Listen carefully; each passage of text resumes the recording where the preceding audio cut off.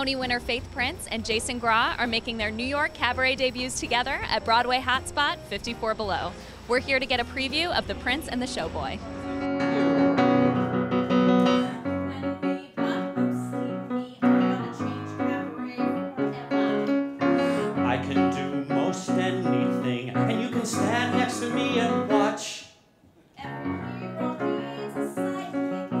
Every captain needs a mate. Aye, aye.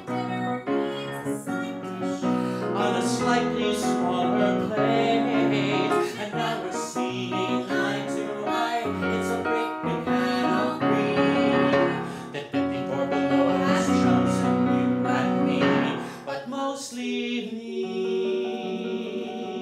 So tell me about uh, getting to debut, have your New York cabaret debut here. excited. Well, This is the first time we've been in the room. It's lovely. It's so exciting. And it's always fun to be in a show with somebody you love and somebody you've known for a long time.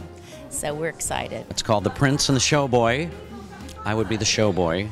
And Faith Prince is the prince. Isn't that clever? I know we thought of it ourselves. Yeah, I mean, what do you love about the songs you've chosen to sing at 54 Below? Well, what I like is because of cabaret, you don't have to just stick with show, Broadway show stuff, which we have a lot of, obviously. But you can do jazz, you can do a hymn, you can do. There's so many forms, and what, however it comes together, it can be sort of like putting up a painting that's sort of a collage of different forms of music. And that's what I love about this medium. And the fact that they really get to know you.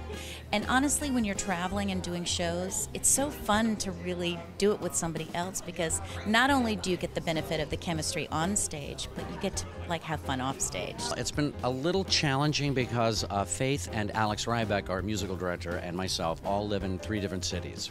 So we've been doing a lot of this long distance. And uh, we've tried it at different places. So each place that we go, we, we add new songs and we get together and rehearse two days before. We try new things and see how it goes. So we've, we've been doing a lot of that kind of, you know, just add water and, and seeing how it is, you know, how it's responded. What's more fun, belting on a big Broadway stage or singing at a more intimate place like this? Well, I think it's all fun, but there is something about the intimacy. It's like being in somebody's living room. So you just kind of get to be yourself and then pop into a song. I have to say, I think it's my favorite. Stop riffing about it and do it. How many in sight are we? Life is about to change for you. Life is about to change for you.